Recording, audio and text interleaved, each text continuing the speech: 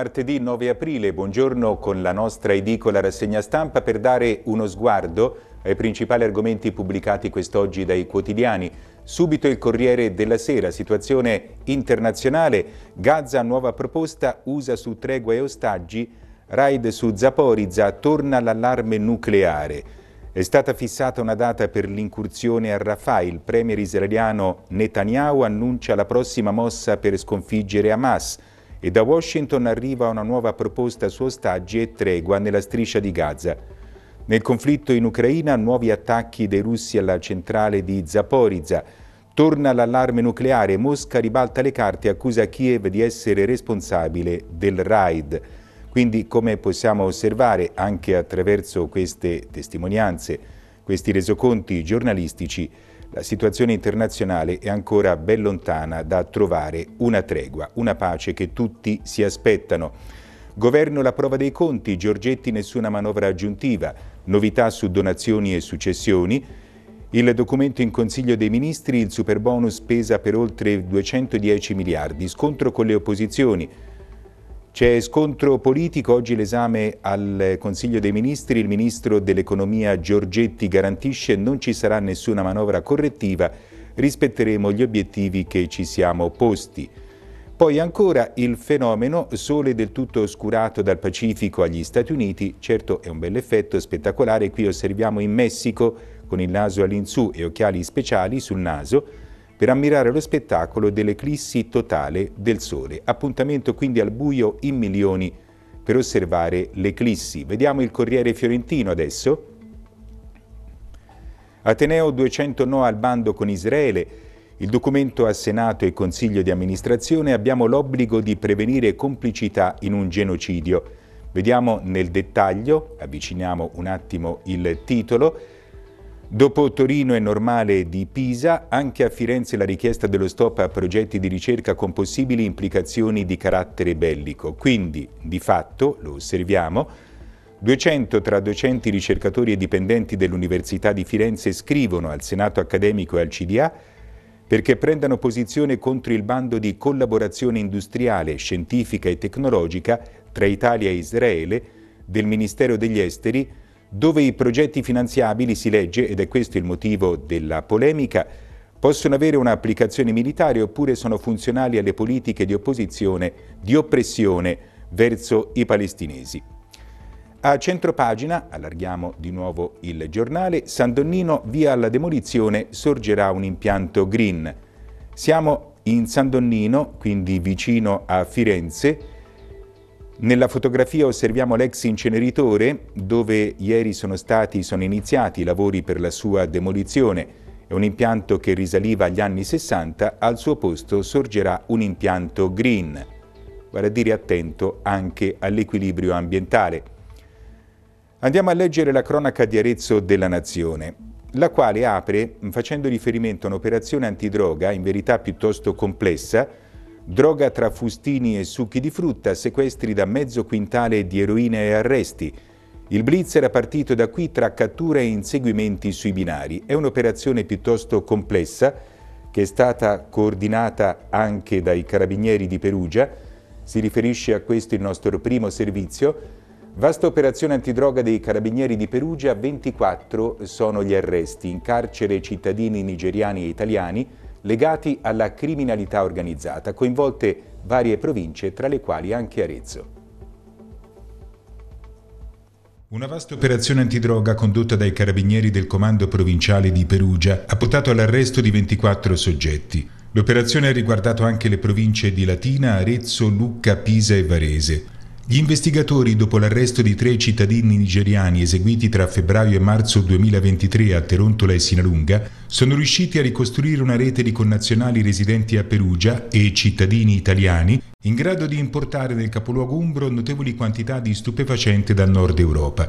Il gruppo aveva base logistica in un'abitazione nel centro di Perugia e riforniva tramite pusher i mercati di Toscana, Marche e Campania. Le indagini hanno accertato collegamenti tra l'associazione criminale di matrice nigeriana e la criminalità organizzata campana, con particolare riferimento a un esponente del clan dei Casalesi. A quest'ultimo il provvedimento cautelare è stato notificato nel carcere di Santa Maria a Capovetere. Il giudice per le indagini di Perugia ha emesso per 10 indagati la misura della custodia in carcere, per 3 la misura degli arresti domiciliari presso le abitazioni di residenza e per altri 11 la misura dell'obbligo di presentazione quotidiana alla polizia giudiziaria competente. Il traffico di stupefacenti riconducibile agli arrestati ammonta a 250 kg per un valore di mercato stimato in 15 milioni di euro. Eseguite anche perquisizioni domiciliari che hanno consentito di sequestrare in una delle abitazioni degli indagati 624 grammi di cocaina, 4 kg 700 di marijuana e oltre 20.000 euro in contanti. Per tali fatti sono stati arrestati in flagranza di reato cinque nigeriani che sono stati deferiti alla Procura della Repubblica competente per territorio. Torniamo a leggere la cronaca di Arezzo della Nazione, si parla di sicurezza soprattutto nella zona dei giardini porcinai, vale a dire vicini alla stazione. Fa da pacere, preso a coltellate, tentato omicidio e caccia all'uomo. E poi, sempre riferimento, con riferimento a questo fatto di cronaca, ci sono anche le reazioni. Fate presto, situazione drammatica, appello dei negozianti al comune. Vediamo nel dettaglio. Evito i giardini, mi conoscono bene gli agenti in borghese, è un segnale bastioni in stand-by prima dei lavori perché sappiamo che la zona sarà poi riqualificata con una serie di lavori pubblici. Si parla ancora di lavori pubblici in queste due pagine, possiamo osservare. Addio al semaforo di via Tarlati, Catona via i lavori della rotatoria e Cesalpino verso la demolizione, Fiorentina via Fiorentina sarà la volta buona, sottoservizi verso la volata finale, poi avanti con rotatoria e sottopasso. Quindi, come possiamo osservare, entrambi i servizi, entrambi gli articoli si riferiscono, fanno un po' il punto dei lavori pubblici in alcune zone della città. Ancora Chianti Banca utile oltre i 36 milioni, il nostro sostegno al territorio, vediamo qui nel dettaglio. Qui osserviamo i componenti del CDA con il collegio sindacale, presidente e direttore generale di Chianti Banca, l'istituto di credito continua a crescere e a sostenere lo sviluppo del territorio. Avanti il ricambio generazionale, stabilizzati 50 giovani a tempo indeterminato, quindi ci sono delle prospettive anche sotto il profilo occupazionale. Qualche notizia dai territori, per esempio da Cavriglia, il sindaco Sanni punta a fare il tris con la mia squadra verso la sfida elettorale delle prossime amministrative, il riferimento al servizio che abbiamo visto prima, stroncato maxi giro di droga, eroina nei fustini e nelle ruote a Terontola, i primi arresti, come detto è stata coinvolta anche la provincia di Arezzo, anche se l'aspetto conclusivo direi di questa indagine è stato condotto a Perugia. Madonna del parto senza pace, quindi siamo a Monterchi, nuova collocazione? Vedremo, andiamo a osservare il sommario sulla vicenda che riguarda il futuro dell'opera, il sindaco di Monterchi Romanelli dice che il percorso non è iniziato. A maggio l'incontro al Ministero dove potrebbe essere presa una decisione definitiva attesa ormai da tutti ed è una decisione appunto che la comunità ormai si attende. Ci sono ovviamente anche riferimenti alla pagina sportiva e in particolare anche al pareggio ottenuto dall'Arezzo allo stadio Porta Elisa di Lucca. Vediamo qui a fondo pagina.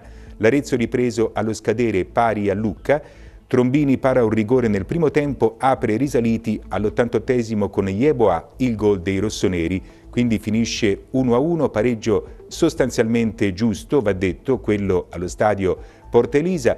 Arezzo ripreso sul più bello, Risaliti fa sognare il blitz pari lucchese nel finale. Indiani soddisfatto, risultato giusto per quanto si è visto in campo.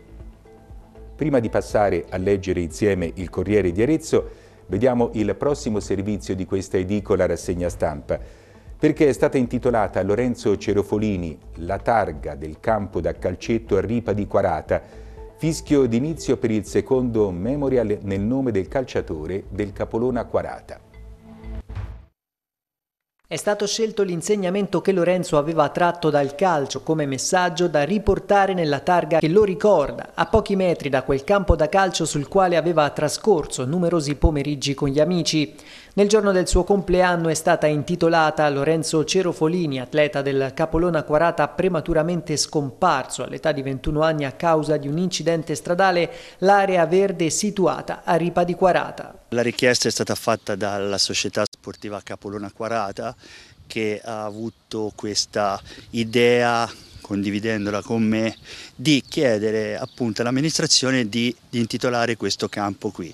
L'amministrazione eh, in 448 ha detto sì, ha sposato la causa e ha reso felice questa, questa, comunità. Non è banale, non è scontato che il paese si stringa intorno a una famiglia quando poi purtroppo affronta un lutto del genere. Questo a Quarata è successo, sta succedendo, non è la prima occasione di ricordo di Lorenzo e quindi l'amministrazione comunale ha fatto semplicemente il proprio dovere, quindi assecondare questa richiesta formalmente della società sportiva e della famiglia ma di tutto il paese di ricordare Lorenzo. La svelatura della targa ha anticipato il fischio d'inizio del secondo Memorial Cerofolini. Non a caso ho scelto ehm, gli esordienti secondo anno perché hanno un'età che ancora non sono tra virgolette troppo contaminati dalla televisione o da atteggiamenti che sono fuorvianti per i ragazzi che già cominciano ad avere un'età superiore, quindi è bellissimo vederli giocare con rispetto, con, con, con, voglia, proprio con semplicità e con una libertà di mente che quando crescono purtroppo a molti va via. Le notizie di cronaca sono prevalenti nella pagina di apertura del Corriere di Arezzo. La prima fa riferimento anche al servizio che abbiamo visto prima. L'Aretino Piazza dello Spaccio, c'è questa fotografia che abbiamo riportato anche nel nostro contributo filmato, che documenta l'entità di questa operazione, contestato il traffico internazionale di 250 kg di eroina con un profitto di 15 milioni di euro, l'hub dello smistamento in centro a Perugia, vale a dire un'abitazione che era stata presa in affitto e fungeva in pratica da base per lo spaccio. Ancora cronaca qui a fondo pagina, accoltellato ai giardini Porcinai e caccia all'aggressore, quarantenne in prognosi riservata al San Donato, ferito anche un giovane intervenuto per riportare la calma nella zona, c'è anche questo aspetto che deve essere tenuto in particolare evidenza. E poi ancora qui di spalla, residenti in città il 13% è straniero, il 13% della popolazione aretina è straniero. Questa è la percentuale registrata dai dati demografici del comune di Arezzo al 31 dicembre 2023. La popolazione complessiva, il numero complessivo dei residenti va leggermente diminuendo. Salviamo il ponte, cade i frati, si mobilita, i residenti lo demoliscono d'estate, serve creare un'alternativa. Vediamo qui questa fotografia che documenta appunto da vicino il ponte che sarà demolito soprattutto per motivi, si legge, legati alla sicurezza. Tutti a scuola dai campioni, Panatta, Lucchetta, Graziani e Castro Giovanni incontrano e giocano con gli studenti, appuntamento con questa iniziativa che è stata organizzata all'Arena Eden di Arezzo. Ancora la cronaca, accoltellato ai giardini porcinai, abbiamo visto la notizia già anticipata in prima pagina. Il punto sulla situazione demografica ad Arezzo è straniero il 13% degli aretini, poi notizie dalla Toscana, notizie anche dall'Italia e dal mondo, riferimento anche all'operazione che abbiamo documentato con questa doppia indagine e molti chili di droga sequestrati. Qualche informazione dai territori, sindaco corre per la terza volta il sindaco di Cavriglia, Leonardo degli Innocenti Ossanni. Ci sono ancora molti progetti avviati da finire e appunto per questo il primo cittadino uscente si ricandida ancora per le elezioni.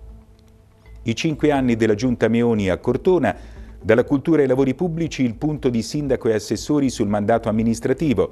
Osserviamo in questa fotografia componenti, alcuni componenti della giunta Meoni che ieri appunto hanno voluto così illustrare gli interventi compiuti.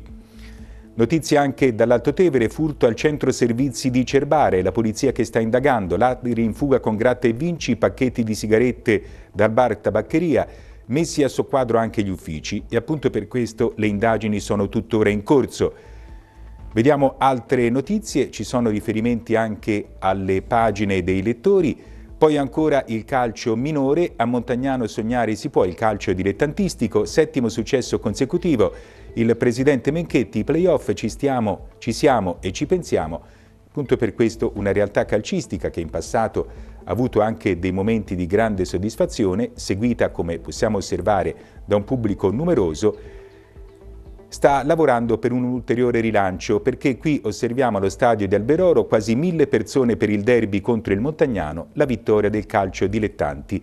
Calcio dilettanti che sappiamo deve affrontare numerose difficoltà e queste immagini in fondo riconciliano con questo calcio che comunque è sempre molto presente nel nostro territorio, nella nostra provincia.